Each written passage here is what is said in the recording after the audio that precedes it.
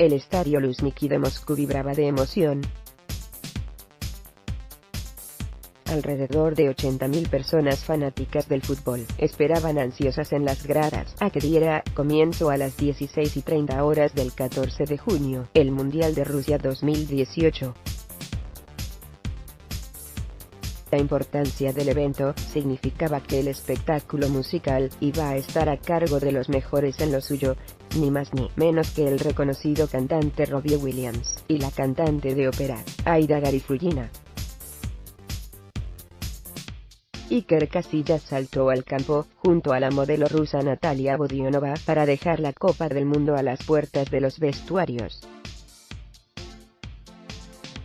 El formato de la ceremonia musical era diferente al de otros años, ya que empezaba justo media hora antes de que diera comienzo el primer partido del Mundial. Un videomontaje inicial mostraba algunos de los lugares más destacados de Rusia, como la Plaza Roja de Moscú,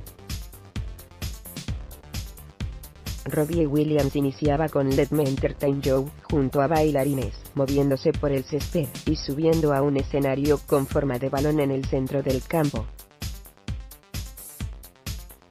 A continuación, Aida Garifulina hizo lo propio también en solitario, sobre una carroza con forma de pájaro, Después de que el británico interpretara Feel, cantaron en conjunto la famosa Angels, mezclando la voz más pop con la lírica, una unión entre un producto internacional y el nacional. Mientras, varias personas pasearon disfrazadas con la bandera de cada país participante en el Mundial, 32 en total, Ronaldo, bicampeón del mundo con Brasil, representaba al fútbol, saltando al campo cogido de la mano de un niño, y se preparaba para hacer el saque inicial, pero lo hizo el joven en su lugar. Después Williams cerró el espectáculo con rock de J, también de su conocido repertorio, y con un sorprendente corte de mangas, frente a las cámaras, y así dio comienzo al Mundial de Rusia.